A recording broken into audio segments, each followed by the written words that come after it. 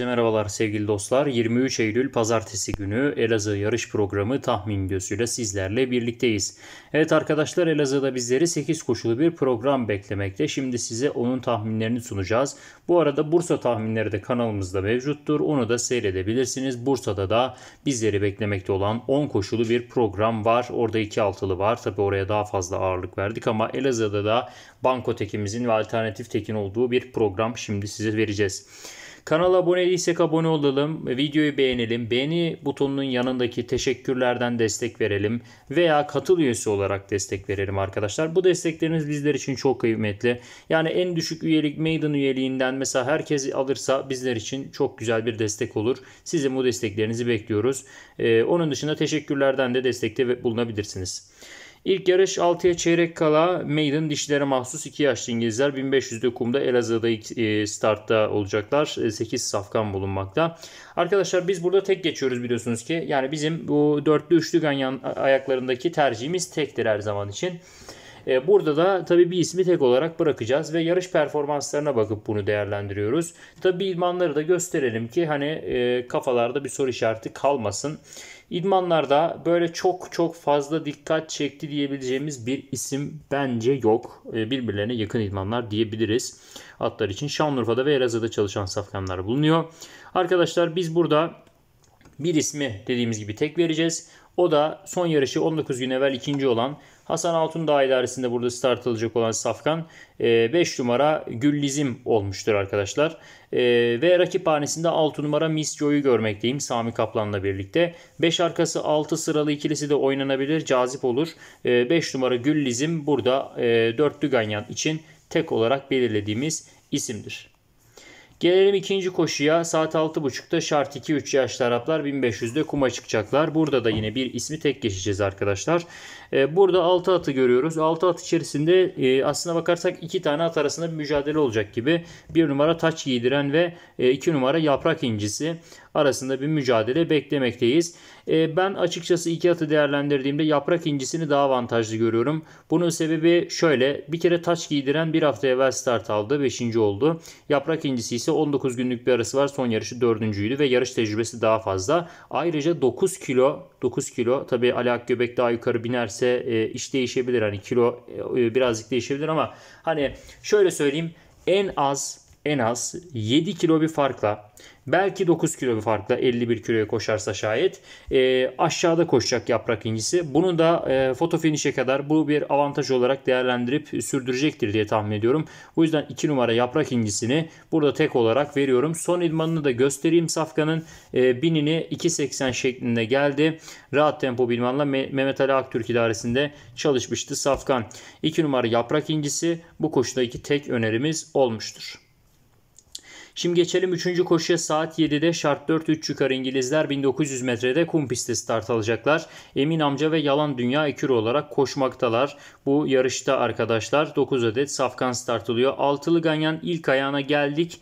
Bizim bu koşudaki favorimiz aynı zamanda bu oyundaki banko tek önerimiz olmuştur. Bunu bir kere baştan söyleyeyim. Buradaki tuttuğumuz tek vereceğimiz isim 14 gün evvel bu seneki ikinci startına çıkıp kazanan isim Mehmet Taşkaya ile birlikte Anadolu Kaplanı 5 numara olmuştur. 5 numara Bankotek olarak gördüğümüz isimdir. İkincilik konusunda birazcık kararsız olduğum için sıralı ikili önermiyorum. Yani burada Emin amca Yalan Dünya Ekürü'den ikisinden birisi gelebilir. Grande Akila'nın Asabi'nin şansı vardır. Aynı zamanda Garanor ve e, Punch gibi safkanlarda ikincilik için iddialı olur. O yüzden burada sıralı ikili önermiyoruz. Ama 5 numara Anadolu Kaplanı'nı altılı ganyan için bilhassa bir Bankotek olarak gördük ki son yarışında Emin amca 3. kalmıştı. Aynı koşu arkadaşlar onların koştuğu. Anadolu Kaplanı burada o son yarışı kazanmış olmanın verdiği bir e, durumla da geliyor. Şu anda o güçle de geliyor. Safkan bu yarışa. İdmanları kısaca bir göstermiş olayım. E, orada e, bakın Anadolu Kaplanı'nın son e, bir kenteri var Mehmet Taşkaya idaresinde. Geriye kalan safkanlarda da çok aşırı dikkat çeken öyle bir idman bulunmaması sebebiyle 5 numara Anadolu Kaplanı'nı rahatlıkla tek atıyoruz bu koşuda ilk ayakta altılıda. Aynı zamanda üçlü ganyanınızda ikinci tekiniz ve dörtlü ganyanınızda üçüncü tekiniz olmuş oldu. Tabi biz dörtlü ve üçlüleri arkadaşlar e, şöyle görüyoruz. Yani mümkün olduğunca az at yazılan oyunlar olarak değerlendiriyoruz. Siz tabi başka bir oyun yapmak isteyenler varsa aranızda e, dörtlü ve üçlü ganyanlarda daha fazla at yazmak isteyen varsa tabii ki yapabilirsiniz. Biz sadece altılıya daha çok odaklandığımız için dörtlü ve üçlü ayaklarını e, birer atla geçip öyle oyun yapıyoruz. Burada da bir tesadüfen altılının ilk ayağı e, tek denk geldiği için dörtlü ve üçlüdeki tek sayınız artmış oldu. Hani o öyle bir durum söz konusu ama başka atlar yazmak istediğiniz varsa tabii ki ilave edebilirsiniz dörtlü üçlülerinizde. Biz sadece böyle bir e, usul prensip belirlediğimiz için e, bu şekilde sunuyoruz sizlere bilginize. Dördüncü koşuya geldim. Saat 7.30'da 14 handikap dişilere mahsus 3 yukarı İngilizler 1700 metre kum pist yarışı. 8 safkanı izleyeceğimiz bir mücadele burası. Arkadaşlar bir numara ünlünün gülü dikkat çeken safkanlardan birisi. 12 gün evvel ikinci kalmıştı ve e, Necmi idaresinde start alacak. Tabi son yarış 5 gün evvel 3. olan Munen San 2 numara Mehmet Taşkaya ile birlikte burada yine tavsiye edeceğim bir isim. Bir önceki yarışında kazanmıştı. Yani Munen San baktığımızda burada kazanmaya e, daha yakın olabilir ama 5 gün arası olduğu için ünlünün gününde yazmakta fayda görüyorum burada. Yani Munen San sadece 5 günlük bir arayla geliyor ama ünlünün gülü de var burada. O yüzden şans vermekte fayda gördüm bu isme de. Beraberinde yine arkadaşlar Ferit Yardımcı ile Skydive 5 numaraya şans tanıyabiliriz. Ee, yine oyununuzu genişletmek istiyorsanız başka atlara da yönelebilirsiniz. Biz burada 3 atlı bir tercih yaptık. 1, 2, 5, 3 at diyoruz arkadaşlar. Sıralamanın çok bir önemi yok. 3 tane at zaten verdik. 3'ünü de yazın derim.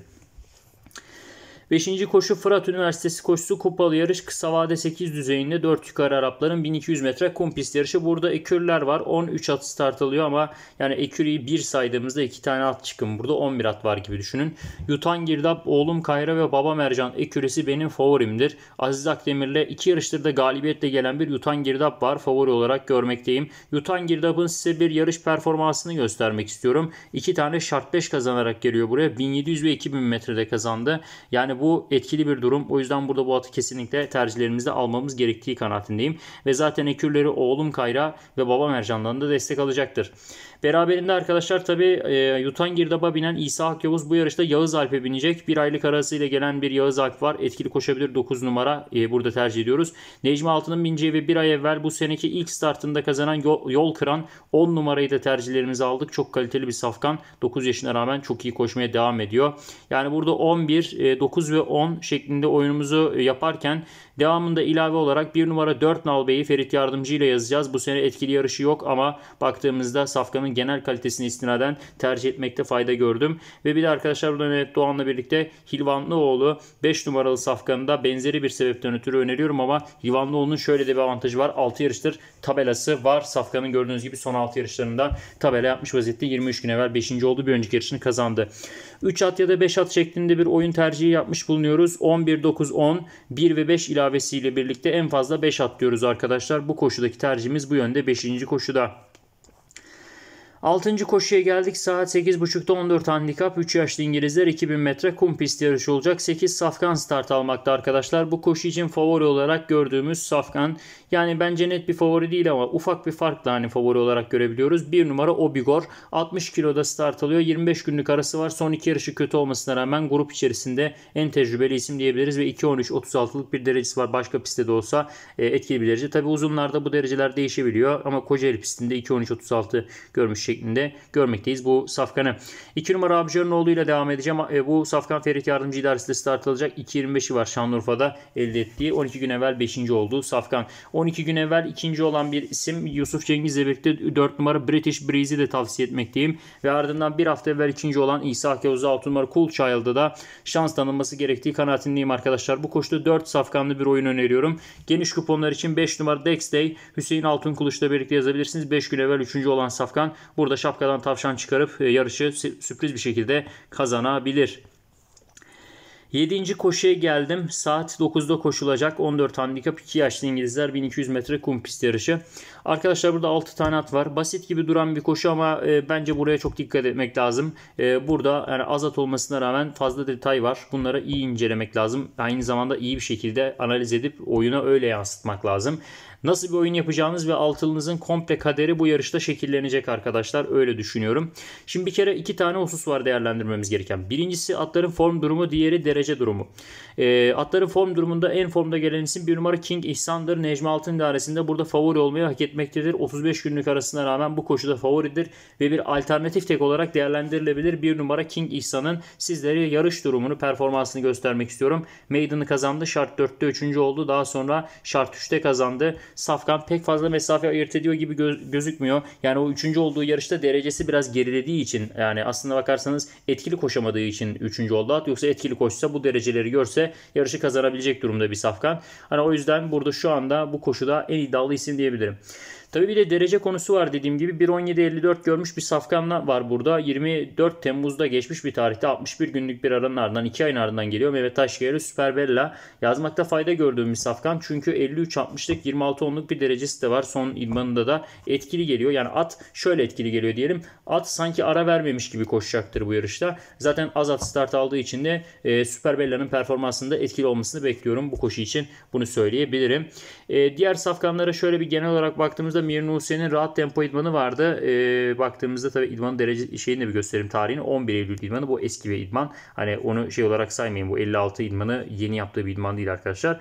Bizim için önemli olan 8 gün evvel at zaten start almış. Etkisiz bir performans gösterse de. Burada 1.18.02'si olan bir safkan. Benzeri bir dereceyi yaparak yine Şanlıurfa'da yaptığı bir derece çünkü. E, burada benzeri bir derece yaparak yine kazanabilir. O yüzden bu yarışta bu atada bir şans tanıyabilirsiniz. Bir numara alternatif tek 2 ve 6 ilavesi bu koşu için söz konusu gözükmektedir arkadaşlar. Bizim önerimiz bu yönde 7. E, koşu için. 8. koşuya geldik. Saat 9.30'da Maiden dişi 2 yaşlı İngilizler 1500 metre kum pist yarışı. 8 safkan start almakta. Duygulu Kız ve Always Win Ekür olarak koşuyorlar arkadaşlar burada. E, bu yarış için e, ben size şöyle söyleyeyim. E, yani tabi 8 tane at var. E, son ayaktır. 2 tane tek yap yaptıysanız bir önceki koşuda King İsa'nı tek bıraktıysanız burada arkadaşlar kapama yoluna gidebilirsiniz. Yani ne demek istiyorum? E, bir numarayı yazmıyormuş gibi düşünün. 2'den başlayın. 2, 3, 4, 5, 6, 7, 8 şeklinde kapatabilirsiniz. Son ayaktır. Burada böyle bir kapatma yapabilirsiniz. Ama e, daha ufak bir oyun tercih eden arkadaşlarımız vardır mutlaka ki. Onlar için e, bunu düşünmemiz lazım. Başka bir küçük kupon da vereceğim.